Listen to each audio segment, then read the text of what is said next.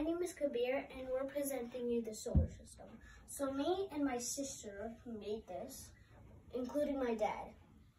So we made this out of paper plates, we color coded it, but some planets aren't that well, like Saturn.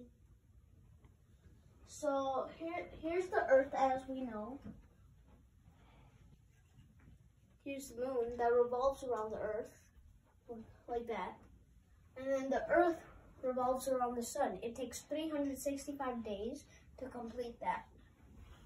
So, and then Mercury um, is not is not the hottest planet, but Venus is because it has clouds that trap the warm air that make it hotter. And here's Mars. Most, most, most people are to go to Mars somehow. Here's Jupiter. It has the big red dot, the biggest storm in Jupiter, and it, it's the biggest planet.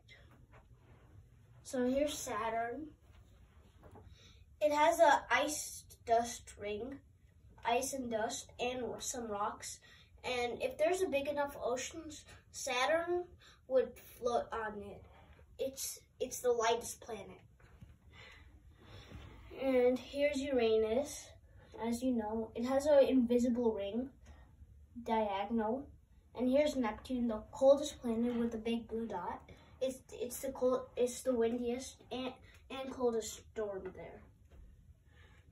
And the storm goes 3,600 miles per hour. It's very cold. And it's the coldest planet. So here are the planets of the solar system. Well, we use the light as the sun. We might change that a little. So yeah, bye.